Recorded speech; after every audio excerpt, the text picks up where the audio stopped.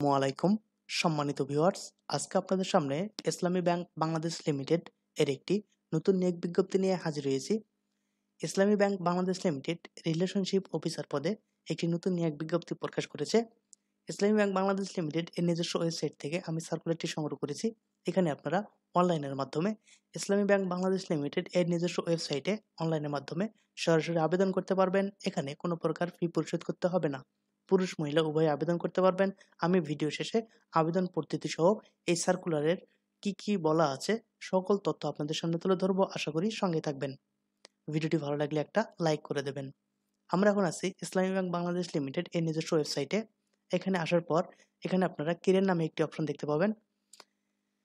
কে career নামে অপশনে click করলে আপনাদের সামনে এরকম একটি ইন্টারফেস চলে আসবে।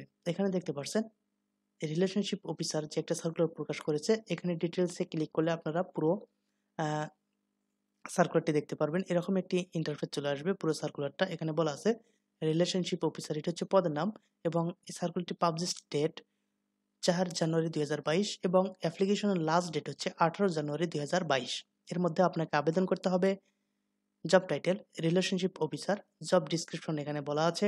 আপনাদের কাজ করতে হবে ডিরেক্ট সেলে তাদের মার ডিজিটাল যে প্রোডাক্টগুলো আছে আই কার্ডস পিওএস কিউআর এই যে ডিজিটাল মার্কেটিংগুলো আছে, এগুলো আপনাকে করতে হবে।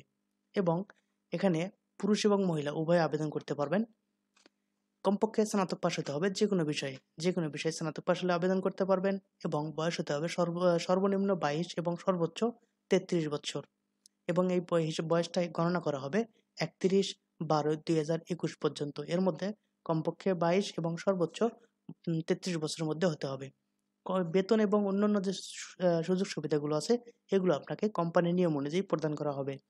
জব লোকেশন কর্মস্থল হবে বাংলাদেশের যে কোনো স্থানে। এখানে আপনার শুধুমাত্র সরাসরি ভাইবার মাধ্যমে নিয়োগ প্রাপ্ত হবেন, কোনো পরীক্ষা দিতে হবে না। এবং আপনাদের পরীক্ষা ভাইবার ডেট কোথায় হবে ভাইবা কোথায় অনুষ্ঠিত হবে, কবে হবে, তা এস এম এস অথবা ইমেলের মাধ্যমে আপনাকে জানাতে হবে ইমেলের মাধ্যমে জানানো হবে। এবং আরও বলা আছে ভাইভার জন্য কোনো প্রকার টিডিএ প্রদান করা হবে না। এখানে আরও বলা আছে হাউ টু অ্যাপ্লাই এ এখানে অবশ্যই আপনাকে অনলাইনের মাধ্যমে আবেদন করতে হবে। এখানে দেখতে পাচ্ছেন, আঠারো জানুয়ারি দুই হাজার বাইশ তারিখের মধ্যে আবেদনের জন্য অ্যাপ্লাই নাও যে বাটনটা আছে, দেখতে পাচ্ছেন এখানে অ্যাপ্লাই নাও বাটনে ক্লিক করবেন। ক্লিক করলে আপনাদের সামনে এরকম একটি ইন্টারফেস চলে আসবে। এখানে অ্যাপ্লাই নাও ক্লিক করলে আপনাদের সামনে এরকম একটি ইন্টারফেস চলে আসবে। এখানে সরে দেওয়া আছে online application form for online application form for post relationship officer এখানে যে তথ্যগুলো আপনারা দেবেন, এখানে তারা স্টার চিহ্ন দিয়ে বলে দেওয়া আছে। অবশ্যই আপনার যে সার্টিফিকেটের যে তথ্যগুলো দেওয়া আছে, আপনার সম্পূর্ণ তথ্যের যে স্পেলিংগুলো সেগুলো অবশ্যই একাডেমিক সার্টিফিকেটের অনুযায়ী দিতে হবে। প্রথমে আপনি এখানে দেখতে পাচ্ছেন নেম দিতে হবে ফাদার্স নেম মাদার্স নেম তারপর নেম অফ স্পাউস স্পাউসের নাম দিতে হবে ডেট অফ বার্থ তারপর হচ্ছে religion blood group home district এগুলো সিলেক্ট করে দেবেন। দেওয়ার পর থানা উপজেলার নাম লিখতে হবে ন্যাশনালিটি বাংলাদেশে এখানে লিখতে হবে। তারপর এখন আমরা দেখব এডুকেশনাল কোয়ালিফিকেশন এখানে আপনার প্রথমে এক্সামিনেশন এখান থেকে সিলেক্ট করতে হবে। প্রথমে এসএসসি বা প্রথমে চাইলেও আপনারা অনার্স বা স্নাতক পাশেরটা দিতে পারবেন বা যাদের মাস্টার্স আছে তারাও মাস্টার্স আগে দিতে পারবেন। তারপর বোর্ড তারপর কত সালে পাস করেছেন এবং রোল নাম্বার কত ছিল। দেওয়ার পরে আপনার ডিভিশন ডিভিশন দিতে হবে। যদি ডিভিশন না থাকে, যদি আপনার সিজিএ বা গ্রেড পয়েন্ট থাকে তাহলে সেক্ষেত্রে আপনারা গ্রেড পয়েন্টটা এখানে লিখে দেবেন। আর যদি ডিভিশন থাকে, তাহলে এখান থেকে ফার্স্ট সেকেন্ড অথবা থার্ড কোন ডিভিশন ছিল সেটা এখান থেকে সিলেক্ট করে দেবেন। তারপর আউট অফ কত? আউট অফ ফাইভ অথবা আউট অফ ফোর সেটা এখান থেকে সিলেক্ট করে দেবেন। কোন সাবজেক্টে ছিল সাবজেক্টটা এখান থেকে চয়েস করে দেবেন। তারপর ছিল, তারপরটা এখান থেকে আপনারা ক্রমিকভাবে প্রথমে মাস্টার্স যদি মাস্টার্স না থাকে, তাহলে প্রথমে অনার্স তারপর এইচএসসি তারপর এসএসসি দিলেই হয়ে যাবে।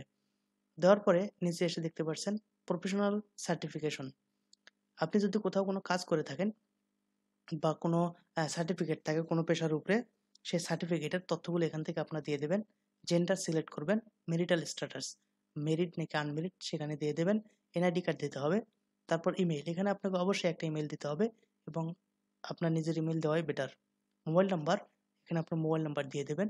তবে এখানে দেখতে পাচ্ছেন প্রতিটা অপশনের পাশে তাদের একটি স্টার্ট চিহ্ন দেওয়া আছে। এখানে স্টার্ট চিহ্নটা যে, যেগুলো দেওয়া আছে এগুলো আপনাকে অবশ্যই পূরণ করতে হবে। তারপর প্রেজেন্ট অ্যাড্রেস তারপর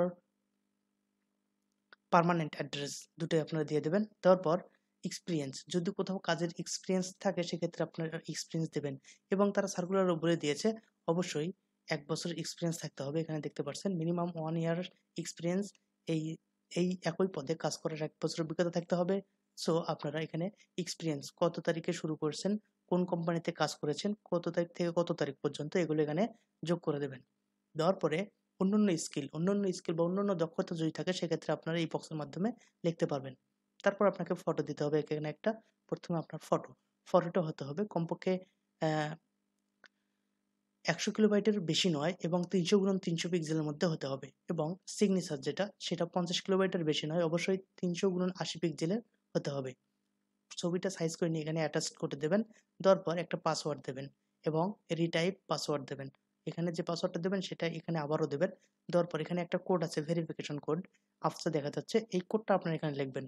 লেখার পরে সাবমিট টু অ্যাপ্লাই এখানে ক্লিক করলে আপনার আবেদনটি সাবমিট হবে। এবং আবার বলে রাখি, যারা পূর্বে কখনো ইসলামী ব্যাংক বাংলাদেশ লিমিটেডে আবেদন করেছেন, যদি করে থাকেন, তাদের একটা ইউজার আইডি এবং ইমেইল বা পাসওয়ার্ড আছে। সেই ইমেইল এবং পাসওয়ার্ড এখানে দিয়ে আপনারা সাবমিটে ক্লিক করে সরাসরি আবেদন করতে পারবেন। তখন আপনাকে পুনরায় এই ফর্ম ঘরগুলো পূরণ করতে হবে না। তো আশা করি আপনারা সকলে এই পুরো সার্কুলার সম্পর্কে ভালোভাবে বুঝতে পারছেন। কোথাও বুঝতে অসুবিধা হলে অবশ্যই কমেন্টে জানিয়ে দেবেন।